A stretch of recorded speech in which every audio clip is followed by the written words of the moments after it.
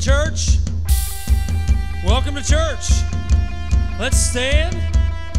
We're going to sing Only King Forever. Clap, stomp them feet, raise them hands. Let's get in the mood this morning to praise God.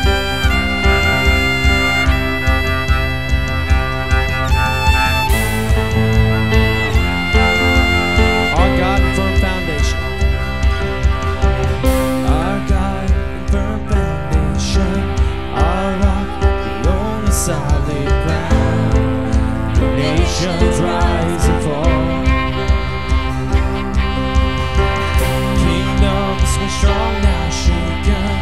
We trust forever in your name, the name of Jesus. We trust.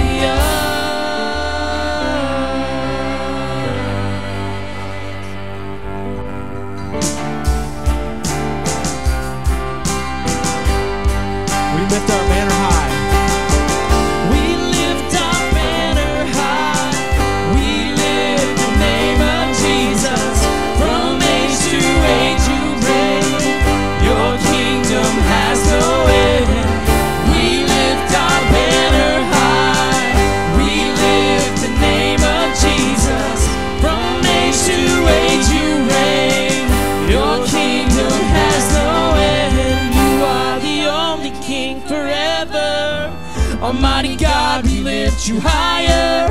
You are the only King forever, forevermore. You are victorious, you are.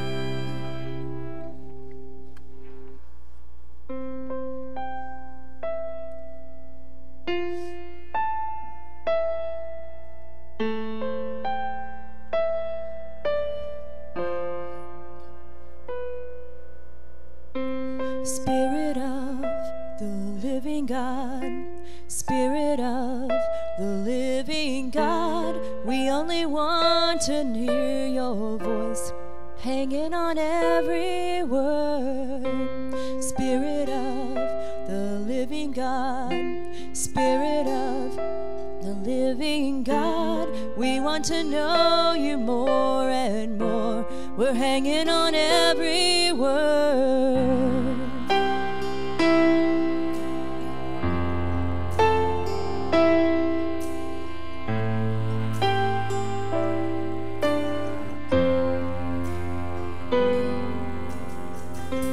Spirit of the living God, Spirit of the living God, we only want to hear your voice. We're hanging on every word. Spirit of the living God, Spirit of the living God, we want to know you more and more. Hanging on every word. When you speak, when you move, when you do what only you can do, it changes us, it changes what we see and what.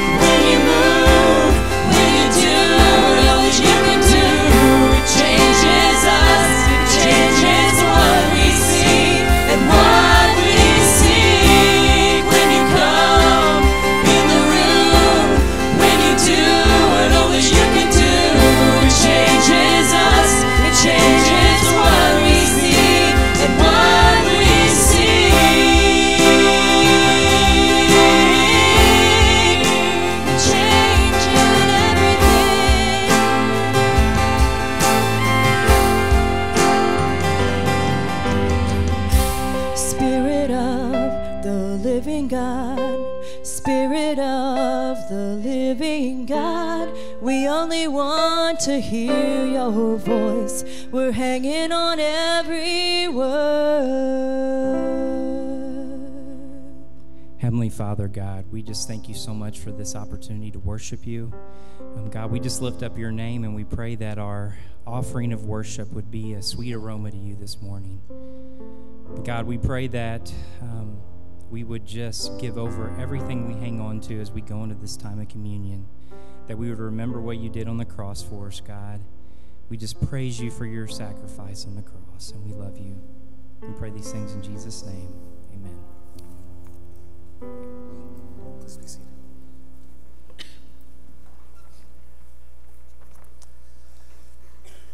Last month, I had the opportunity to visit Sequoia National Park, home of the giant sequoias, the largest trees on earth. They grew up to be 300 feet tall, they can be 26 feet in diameter, and they can weigh 2,000 tons. One interesting fact about these trees is that they require fire to survive. It's fire that enables their cones to release their seeds, to expose the soil so that they can take root, and to open up holes in the canopy so the sunlight can get in. Without fire, these new trees would not germinate. Something man, fire, something that man thought was bad for the trees, turned out to be critical for their survival. When Jesus was arrested, his followers thought it was over even though he had told them it had to happen this way. Their hope in a new kingdom vanquished. The Jews who had crucified them had thought they had eliminated the threat to their way of life, the threat to their power structure. Instead, God took what man had intended to be an end and made it a beginning. Jesus' death on the cross unleashed God's uh, wonderful plan of salvation. 1 Corinthians 15 puts it this way Christ died for our sins according to the scriptures, was buried, and raised on the third day. And because of Christ's selfless sacrificial act, it also tells us death has been swallowed up in victory. Where, O death, is your victory? Where, O death, is your sting? Death, something that man thought was bad, turned out to be critical to our survival, critical to our salvation. Without it, we would still be in our sins. Without it, we would still be separated from God. 1 Corinthians also tells us, But thanks be to God, who gives us the victory through our Lord Jesus Christ. We are here this morning to remember and reflect on the grace that God has given to all of us who call on his Son as Lord and Savior. Please bow with me. Father in heaven, Lord, we humbly come before you, knowing that we are sinners, knowing that we fall short and that, Father, sin separates us from a holy God. And no one, no one, Father, gets to heaven that is not holy. And Father, the only way that we get holy is through your Son's sacrifice. And Father, it may be odd in this modern world that we live in that we have to believe in something else in order to obtain something. But Father, that is the design. That is the way that you have made us. To see that creation around us, even through nature, or Father, through the sun, through the tides, through whatever it may be, Father, that, that you have put this perfect world in place for us, for your creation. But Father, you also want us to love you, just as you have loved us. So, Father, we thank you for the love that you showed to us through your Son, Jesus Christ, some 2,000 years ago, where he laid down his life on a cross so that his blood could reconcile us to a holy and perfect God. We love you, and it's in Christ's holy name that we pray. Amen.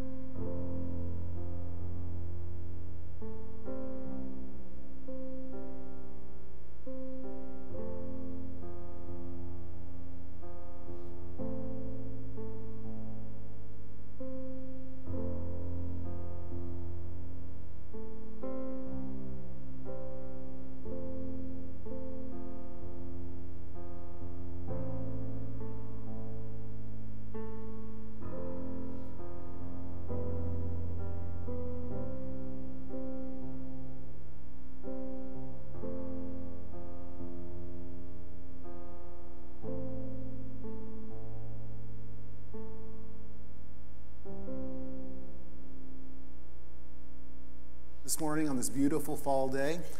And uh, in the seat pocket in front of you is a card. And on that card, are, there are two sides. And one side is uh, for, for prayer and praises and requests. And the other side is information for, for attendance. And if you could just fill, you know, both sides out, needed. And uh, there's a whole host of people that will be praying this week. But we'd also, if you, especially if you're new, if you put uh, the, uh, your information as far as your name and address and contact information, we would reach out to you this week and just try to get to know you a little bit better.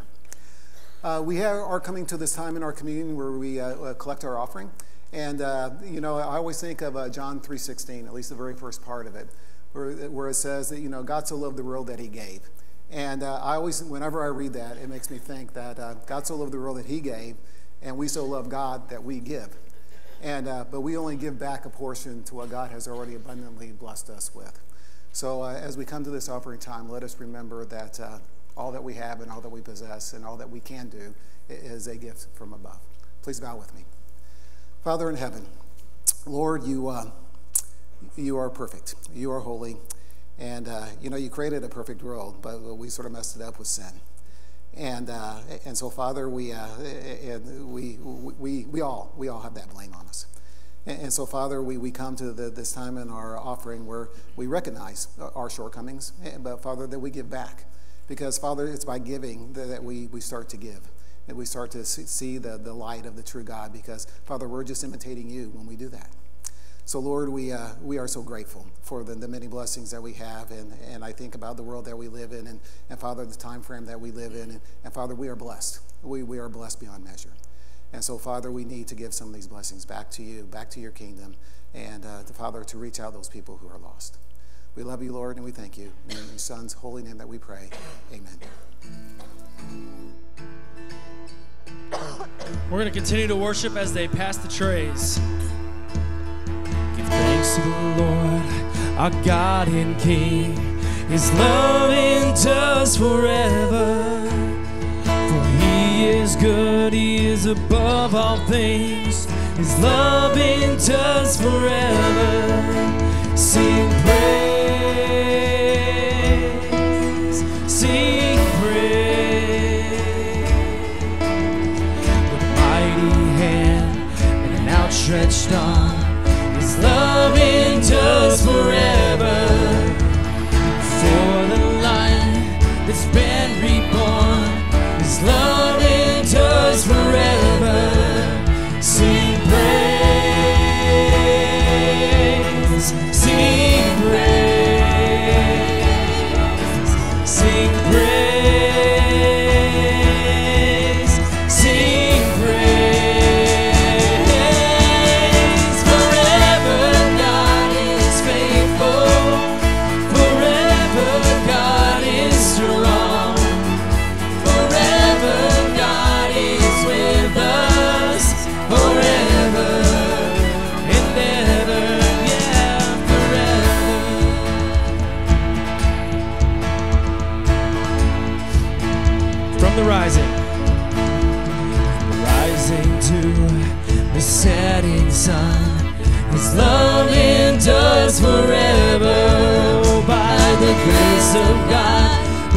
carry on.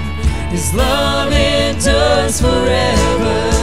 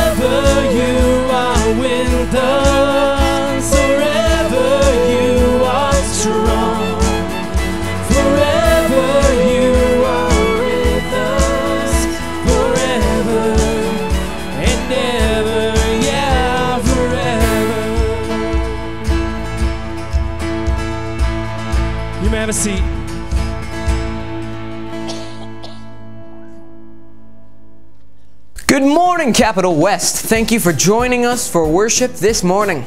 It's always great to see you, but before Pastor Jeremy delivers his message, we'd love for you to listen to a few announcements. Ladies, this is just another reminder for you that the shopping event is fast approaching. If you plan to sell an item on Saturday, December 1st, please call the church office and let Lisa Landis know. This is always a fun event and a great way for you to showcase your talents. Shoppers, this is also a great way to buy Christmas gifts and support the families in our congregation. See your bulletin for more detailed information. Are you enjoying our Greatest Showman series as much as I am? Join us next Sunday, October 28th for the big finale as we bid farewell to the big top and be sure to bring yourselves, your friends, and your family to the greatest family event that evening from 4.30 to 7 o'clock at the event center. There'll be food, inflatables, juggling, carnival games, face painting, plus a circus-style show by the juggling and acrobatic group Kinetic Tapestry. This event is free and open to all who'd like to join us. You won't want to miss it. At the end of our message last Sunday, we were also reminded that this month is Pastor Appreciation Month. Our pastors continuously pour hours upon hours into each and every one of us. To show our gratitude for their overflowing love they give us, we'd like to overflow our appreciation into them. Be sure to stop by the church office between now and the end of October to drop off your tokens of appreciation. We will be filling buckets for Pastors Jeremy, Ken, Mark, Rick, Levi, and our office personnel, Lisa Landis. Think about pampering them with gift cards to favorite restaurants, grocery stores, or perhaps Target or Amazon. Favorite treats, snacks, or drinks would also be good options. We just want our ministry and the staff to know that our lives would not be the same without them. So be creative. Well, that's all for this week. Be sure to catch us on Facebook for our weekly recaps as we recapture the ministry here at Cap West. And now, Pastor Jeremy Redman delivers a grand entrance. Thank you, Grayson. We are in week five of the Greatest Showman series, and Jesus has regularly done the unbelievable, wowing his audiences with never before seen feats of wonder. He has now, by this time, developed quite the following. In fact, he has a parade following him around. In Mark 11, verse 1, as they approached Jerusalem and came to Bethphage and Bethany at the Mount of Olives, remember that, we're going to revisit that next week. Jesus sent two of his disciples, saying to them, Go to the village ahead of you, and just as you enter it, you will find a colt tied there, which no one has ever ridden. Untie it and bring it here. If anyone asks you, Why are you doing this? just say, The Lord needs it, and we'll send it back here shortly. Jesus is ready to make his grand entrance for his big finale next week. And here we read that, that they're getting ready for his arrival, and that's what we prepare our hearts for this morning. So if you would bow your heads, close your eyes, let's get ready for his arrival as we go on. Abba, Father, we thank you for being willing to enter into our presence with yours. May we feel the, the excitement, the energy, and the joy that comes with that expectancy. In Jesus' name, everybody say, Amen. Amen. Things worked out just as Jesus said with the donkey and the colt. And we go on here in Mark 11, verse 7. And when the disciples brought the colt to Jesus, they threw their cloaks over it, and then he sat on it. Now, this is weird because Jesus is dialing up one of the first century Uber drivers to come and get him. And here's what's so weird about that is that he walked everywhere. Everybody walked everywhere. They didn't have planes, trains, and automobiles at this time in history. So everybody walked everywhere. So why does Jesus want to get an Uber ride now? Why does he want this colt? And Jesus knew that he had created some buzz, and a lot of people were talking about him at this point, but people had been talking about Jesus for hundreds of years. One of those guys was a man named Zechariah. In his book, 9 9, he says, Rejoice greatly, daughter Zion. Shout, daughter Jerusalem. See, your king comes to you, righteous and victorious, lowly and riding on a donkey, on a colt, on the foal of a donkey. What Jesus is doing is the fulfillment of prophecy. Jesus is entering into the hub of Jewish society as a victorious king. He was ready to finally come with a little bit of fanfare and show the people who he truly was. It was time for the greatest showman to come to town. This is verse 8 through 10. Many people spread their cloaks on the road, while others spread branches they had cut in the fields. Those who went ahead and those who followed shouted. Let's read this together. These words out loud together. Uh, Hosanna. Ready? To say it out loud. Hosanna. Blessed is he who comes in the name of the Lord. Blessed is the coming kingdom of our father David. Hosanna in the highest. Coats being thrown on the ground along with the palm branches is what would have happened when a victorious king came back into town as a parade. This is a victorious king coming back. This is a, a, a parade to celebrate the victory of a nation. Now, the Israelites are under Roman occupation here, but they don't feel that way. Right now, they're putting their hands in the air like they just don't care at this moment. And essentially, they're shouting, Here comes the king! Right down the way. And something awakens in this moment. And just like a million dreams awoken when we began the Gospel of Mark, something else has come to light. There is a movement to turn those dreams they had into a reality. And maybe in this processional, in this parade, is blind Bartimaeus, who just recently received his sight and can now see the whole thing. Maybe it's Zacchaeus, who was rejected before but now received into the, uh, the company of the greatest showman. No, these are not people who feel like slaves anymore, dead men walking, unable to go past the inevitable. No, Jesus has come to town and they have come alive. You stumble through your days Got your head hung low, your sky's a shade of gray, like a zombie in a maze. You're asleep inside, but you can't shake away, cause you're just a dead man walking. Thinking that's your only option, but you can flip the switch and brighten up your darkest day. Sun is up and the colors blinding. Take the world and redefine it. Leave behind your narrow mind, you'll never be the same. Come alive come alive. Go and ride your light, let it burn so bright. Reach it up the sky, and it's open wide. You're electrified, and the world becomes your fantasy, and you're more than you could ever be. Cause you're dreaming with your eyes wide open. you know you can't go back into the world that you were living in. Cause you're dreaming with your eyes wide open So come alive. See it in your eyes.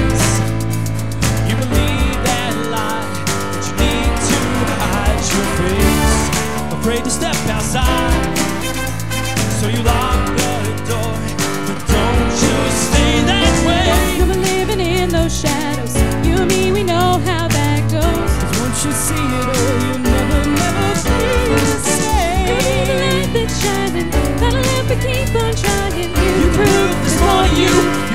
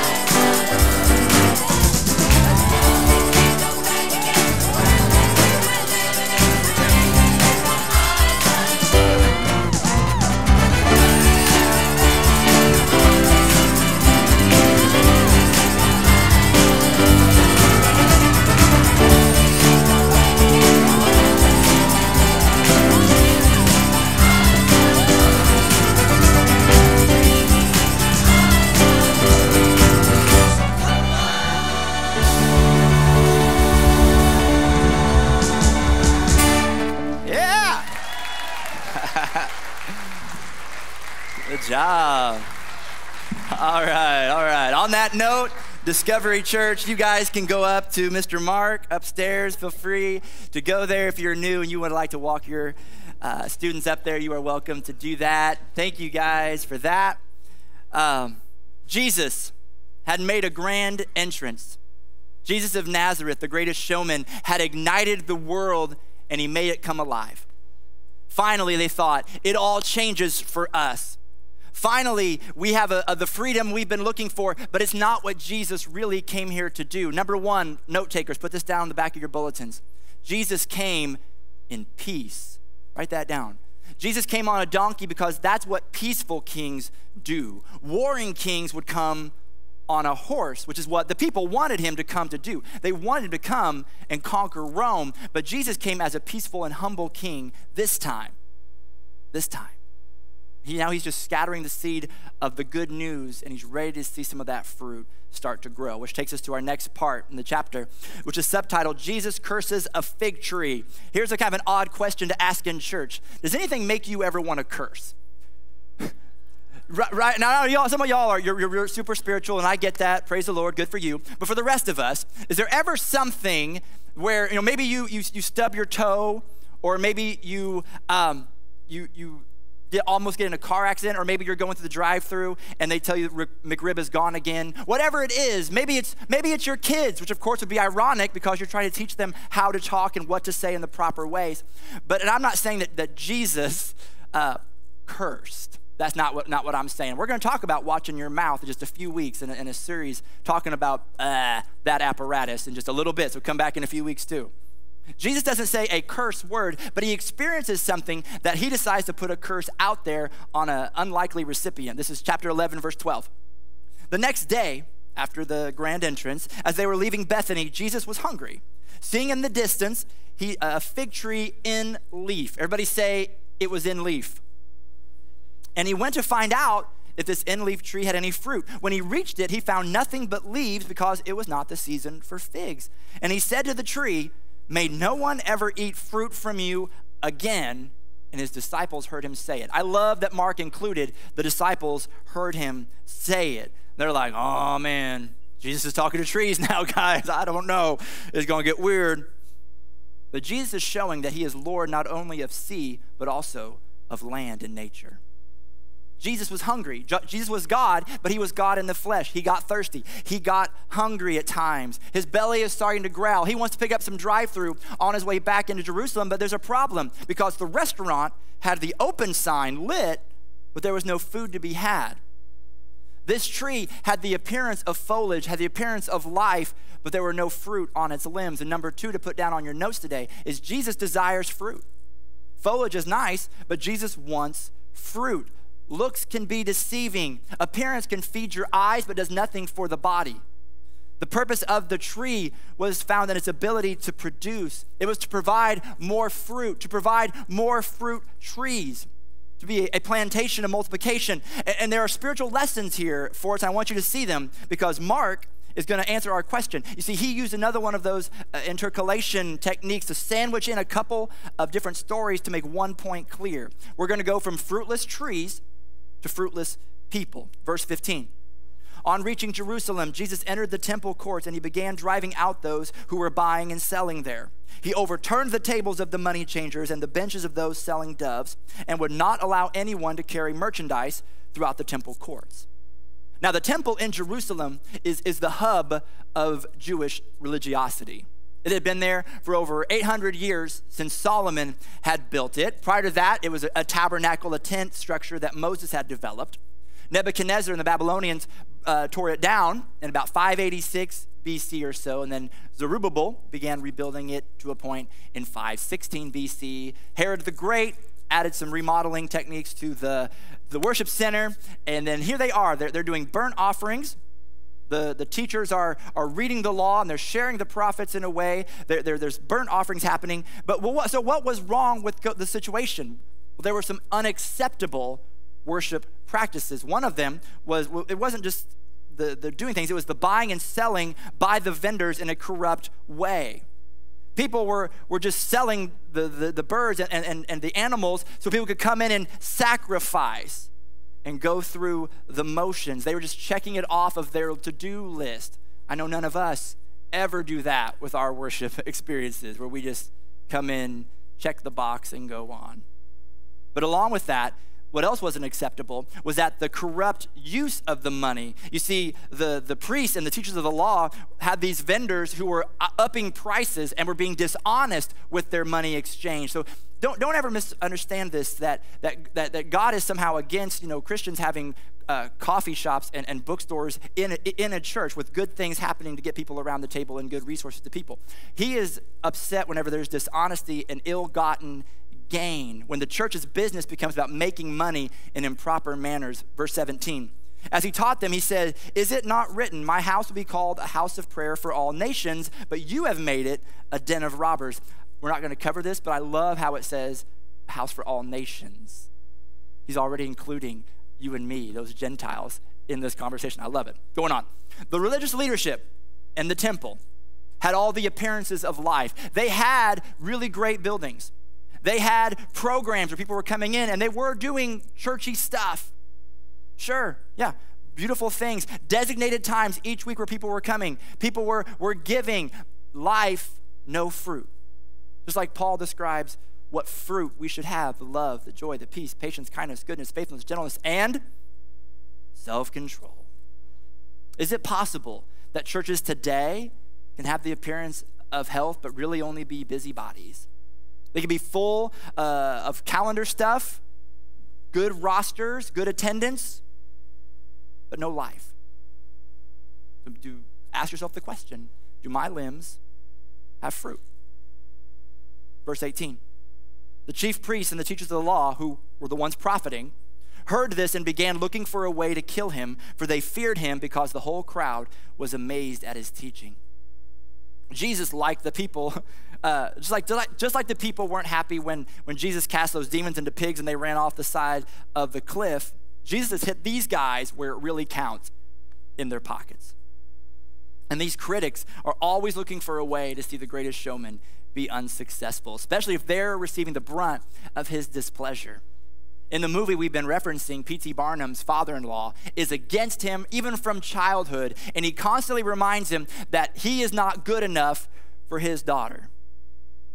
He, every time, over and over. Even in Barnum's success and wealth, the two can't seem to get along. These priests, these teachers of the law, they refuse to get along with our greatest showman. They want him gone, they want him dead.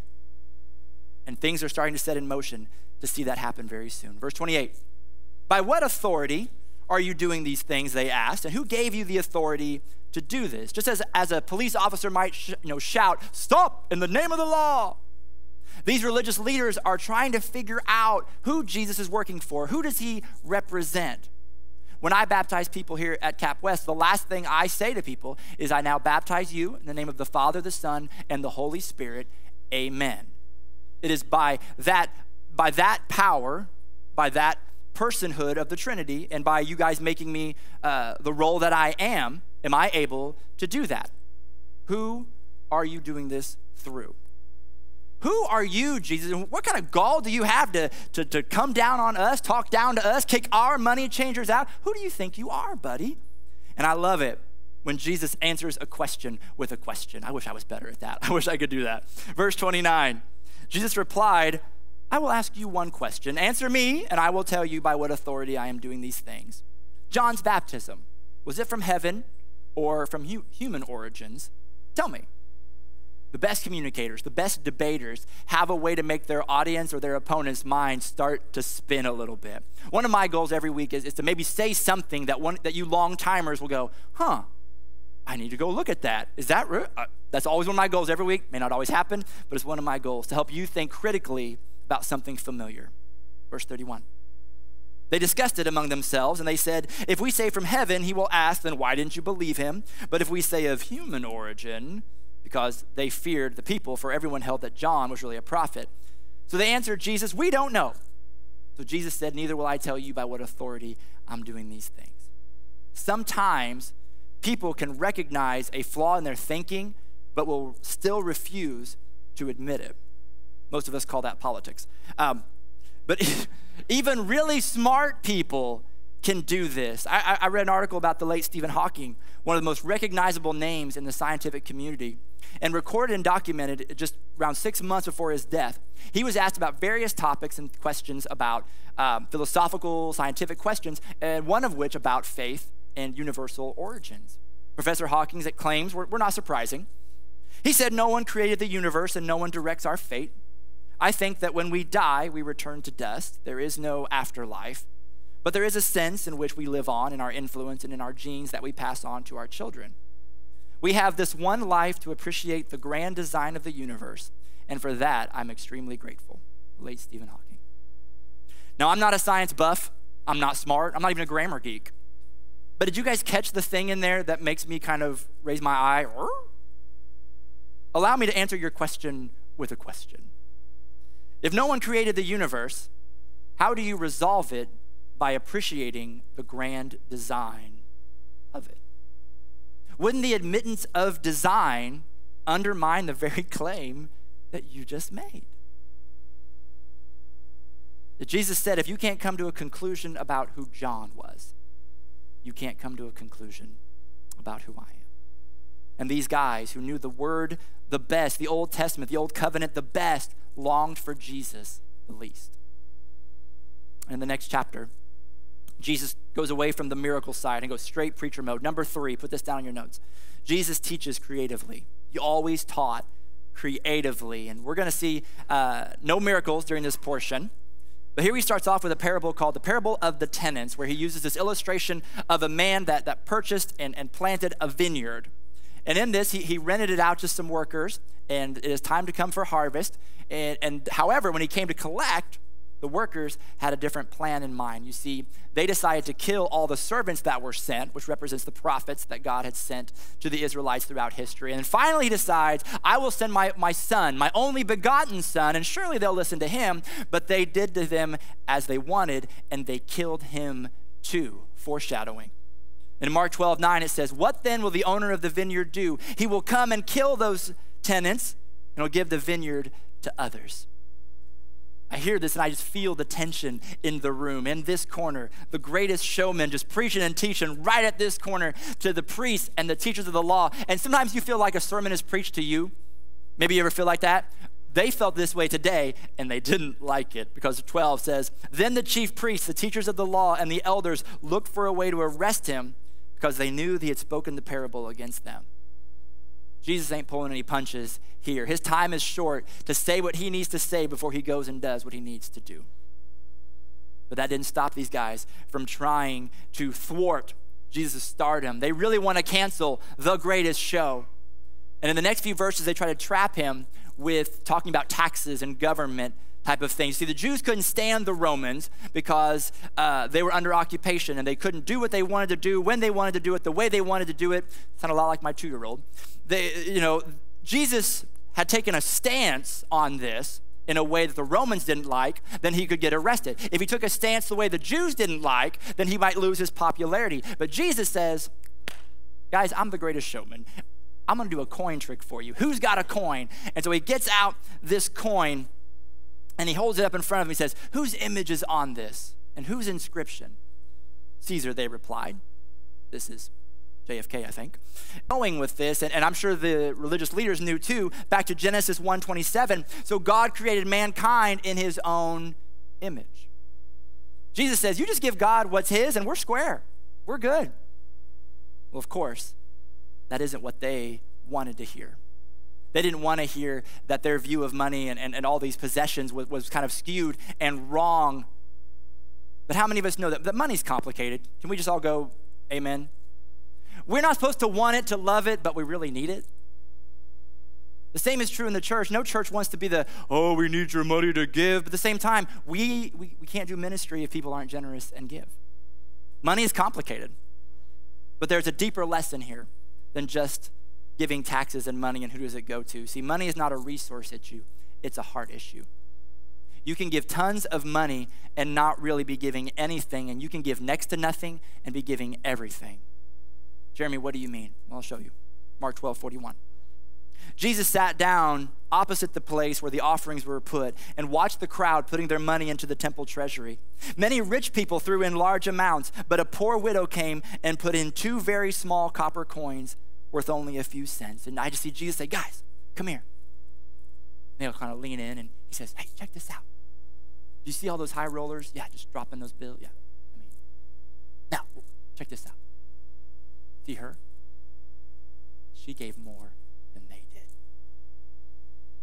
And I just, you know, here she is. She's scraping in the bottom of her purse. It's kind of like my wife looking for her, her lip gloss.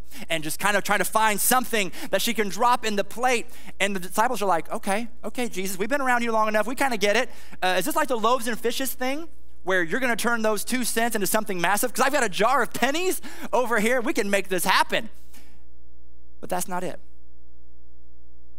You guys don't understand because in verse 44, they all gave out of their wealth, but she, out of her poverty, gave everything she had to live on. And this is number four. Put it down. Jesus loves generosity from the heart. He loves your generosity from the heart. This is not a coin trick. This is not about misdirection. This is about thought correction. See, Jesus asks, Hey, you guys want to see a cool coin trick? Check this out. Um, give me something amazing. And, and he says, Here, watch this disappearing coin trick. How amazing is that? What if you stepped out? What if you lived your life in such a way that you could, you could drop the money in and, and then actually have to live in faith at that giver's remorse you feel when you write that check, when you put that money in the plate? But I need to clarify some of Jesus' math for you. Some of you can give thousands of dollars, and that's awesome, and I hope you do. Some of you can't give a hundred bucks, and it would stretch you and just wreck your family maybe in your mind. But here's the thing those of you that can't give a hundred, you could give even more, maybe because it's about the heart. It isn't about the money, that, uh, uh, the amount of change that you drop in the plate, it's the amount of change that happens in your heart when you sacrificially give, because you will give sacrificially to what you love unconditionally. Uh, case in point, I have been saving for a guitar for years. Sometimes I'll have even close to the money. You know what happens every time? Something comes up that needs that money more in my family and with my kids. You will sacrificially give to what you love unconditionally. This woman loved God enough to give even what little she had as a fragrant offering to Him. And Jesus said, That's a fragrant offering. That smells good. Which is an awesome segue to our next point. You see, chapter 13, we're not going to be able to cover it today, uh, enough time, but do read through that this week. Great stuff. Jesus gives them this, this insight into how difficult the future is going to be, but just to take heart because one day the Son of Man will come back in a cloud and he will make all things new. Uh, read that this, this week, it'll do your heart good. But we're going to jump to chapter 14 because we're gearing up for the climax and resolution of our series next week with the big finale. And I want to read these first couple of verses to you so you can get an idea of what's going on behind the curtains for the greatest showman. This is Mark chapter 14, beginning in verse 1. Now, the Passover and the festival of unleavened bread were only two days away, and the chief priests and the teachers of the law were scheming to arrest Jesus secretly and kill him. But not during the festival, they said, or the people may riot.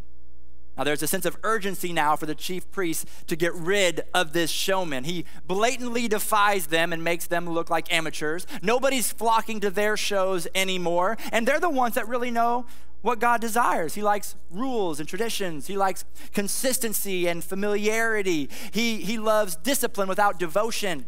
Now, this Jesus, he's all over the math, and he accepts almost everybody. Well, everybody but us. But what they're up to isn't surprising to Jesus. You see, Jesus knows anything and everything, and he knows this is why he came to earth in the first place. So, knowing that, he starts to prepare himself physically for what's to come. This is a beautiful scene. Number five, put it down in your notes. Jesus accepts our worship. Jesus accepts gladly our worship. Mark 14, 3. While he was in Bethany, reclining at the table in the home of Simon the leper, a woman with an alabaster jar of very expensive perfume made of pure nard. She broke the jar and poured the perfume over his head. I wish I had a lot of time to delve in here today because I absolutely love this picture. Something about smelling pleasing aromas just brings me joy. Like I like candles, I like colognes, perfumes, cookies, barbecue. I wish you could literally bottle that smell up and spritz it. That would be amazing.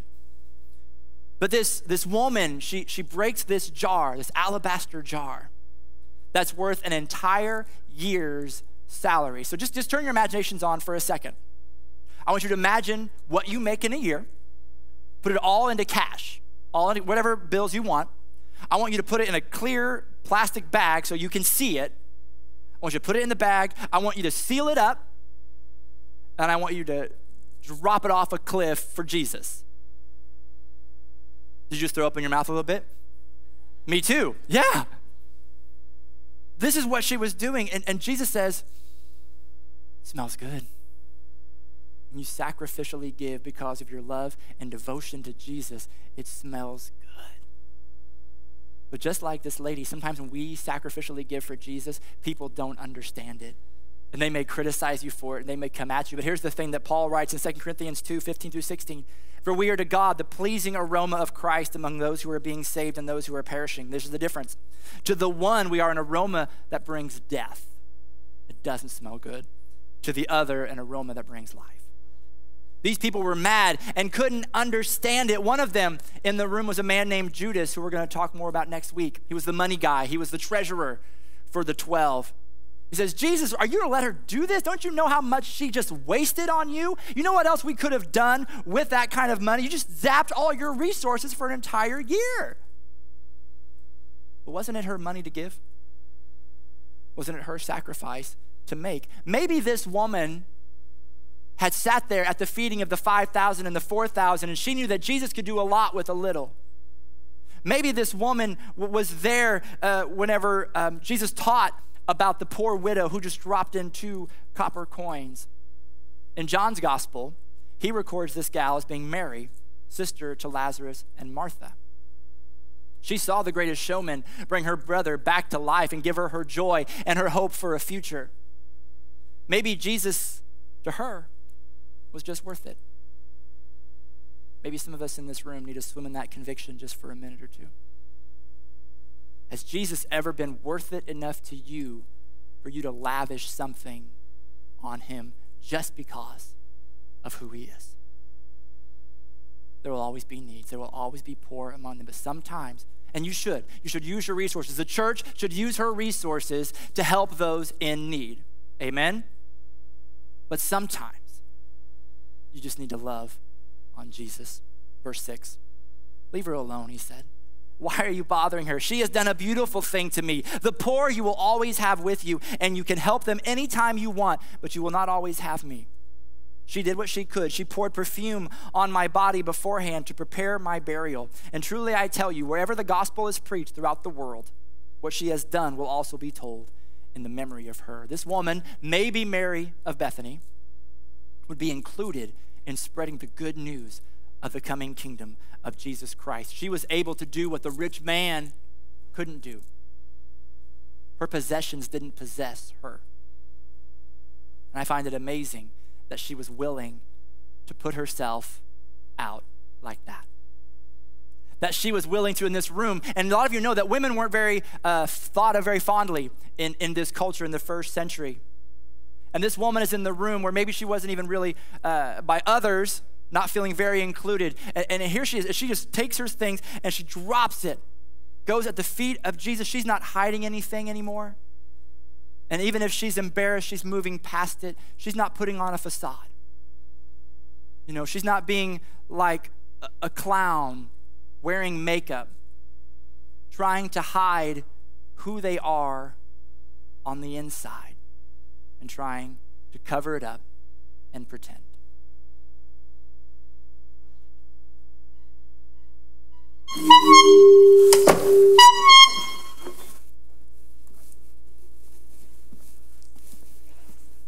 It was a good show tonight. People laughed with me. Crowd was a little bit smaller than we like, but that seems to be the trend these days. I love making a living making people laugh. There's something about putting on the grease paint and the makeup and hiding behind my mask. Real life's really not that funny. But I feel most alive when people are laughing with me. I don't even care if they laugh at me, as long as they laugh. You know, they say laughter's the best medicine, but then again, they say a lot of things. I just know when I laugh, I'm, I'm not crying. After all, who's going to pay to see a depressed man who's sad? The world's depressing enough. So the people put down their money and, they watch elephants dance, motorcycles jump, beautiful women on the trapeze. And in between acts, we clowns make them laugh. With painted faces and big floppy shoes, we make them laugh.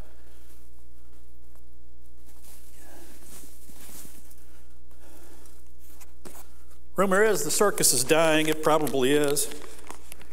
Every year we play a few less cities. Every year there's a few less acts. If the circus dies, what will I do then? How can I hide my pain if I can't make people laugh?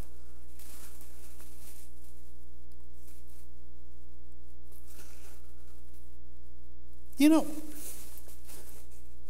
there's more pain in life than joy. Why does life hurt so much? You know what I really hate? It's when I'm out of my makeup and, and I meet somebody on the streets and, and they ask me how I'm doing. They want me to say fine. But fine is just a lie. The truth people don't want. The truth is, I thought about killing myself before the show tonight. The truth is, if the circus dies, I, I've got no place to go. The truth is, when my wife died on the trapeze, I, lived in a bottle for three years, and, and now my sons won't have anything to do with me. The truth is, there's nothing worth living for, or for that matter, nothing worth dying for. The truth is, I, I hear it all the time. So I hide behind the makeup even when there's none on my face.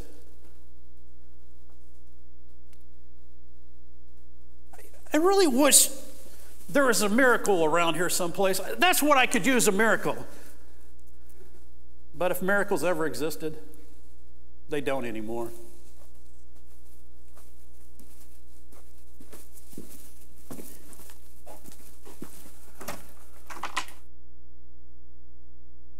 tell my friend the clown is that miracles do exist. They exist with Jesus Christ, Son of the living God, greatest showman. Because one of the greatest things about the greatest showman is that you can come as you are, imperfect, inconsistent, incomplete. He's not asking you today to break a jar of perfume and pour it all out, but he may be asking you to pour out your life to him. So we're going to sing a song as we close today. And it's a song about receiving Jesus' forgiveness for our sins. And, and, not because we, we have earned it or somehow deserve it, but because He is a loving, generous, and giving Savior. And today, I invite you to choose Him. And if you've never done so, I'm going to invite you. Uh, I'm going to be down here in this front row. I would love to come and talk with you and pray with you. Some of our team will be down here to, to talk with you about what it means to give your life over to Jesus. Or maybe for you, you have some, some prayers to offer. Maybe you, you've received Jesus, but you've been putting on that mask because you don't want him to see you for who you truly are the hurts, the tears, and the fears. Maybe some of you still have a one that you feel is, is, is rejecting what you're doing, and you think, God, I need, I need a little more. I need you to move as only you can move to draw them to your side. Maybe there's something else going on in your life. And we just always want to have an opportunity for you to come and pray at these steps if you want to. And some of our team would be honored to come and pray alongside with you. You don't have to tell them what you're praying about, but they'll put a hand on your shoulder and they'll join you in that. But if none of those things are what you need, I pray that during this song you can reflect on something that God told you. Maybe in spite of what I said, the Spirit spoke in a way to get to your heart today something impactful for you. That's why that's what we're coming to do for God to change each and every one of us. So I'm going to invite you to stand up. We're going to sing, we're going to pray, but let's dial in. Let's continue to worship our God. I'm the one who held the nail. It was cold between my fingertips. I've hidden in the garden. I've denied you with my very. God, I fall down to my knees with a hammer in my hand. You look at me, arms open,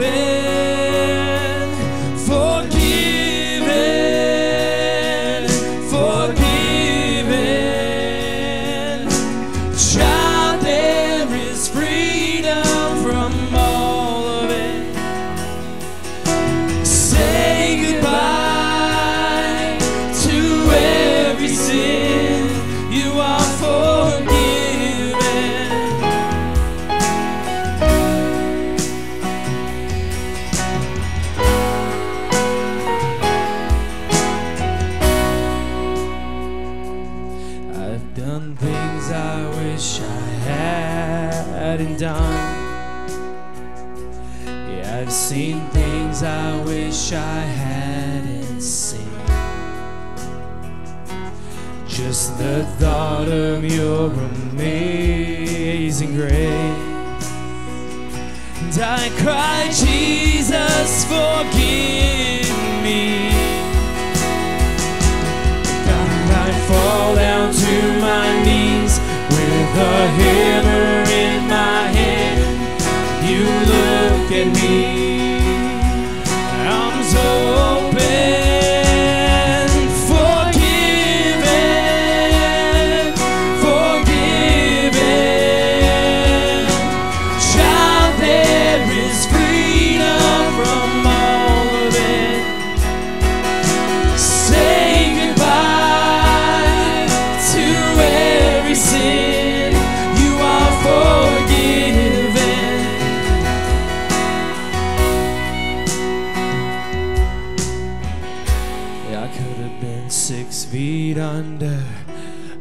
could have been lost forever. Yeah, I should be in that fire. But now there's fire inside of me. Here I am, a dead man walking. No grave gonna hold God's people from the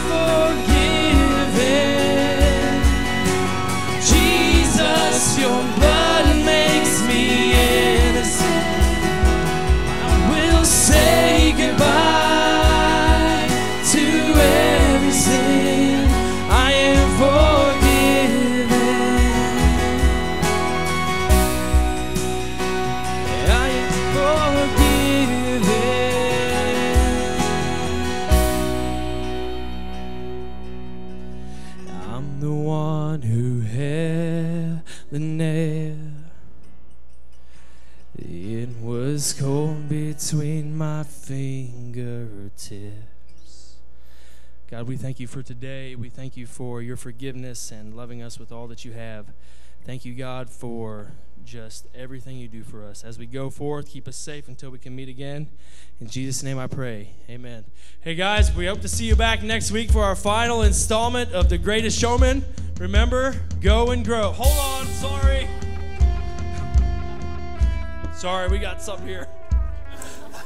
I want to introduce somebody to y'all this morning on her first visit here. Look at this. What's her middle name? Marilyn. Marilyn. This is Jade Marilyn Plassmeyer. her mom and daddy, Cody and Becca, and her big brother, Carp.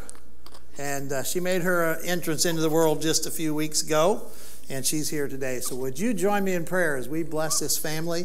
And we're just so thankful for what God is doing in your lives. So, let's pray. Heavenly Father, I just thank you for this beautiful baby girl. I ask you, Father, the miracle of life, that you will just touch her. I pray that you will bless her. I pray that as she grows, that she will uh, grow to know and to follow you all the days of her life. Bless her mom and daddy and her grandparents and all the family and friend that surround her all the time. I just thank you so much, Father, for the way that you work in our life. And we pray today for blessing on this family, for your love, for your grace, through the power and the presence of Jesus Christ. In Jesus' name, amen. Ain't she party? Congratulations, Thank guys. Thank you so much. Appreciate it.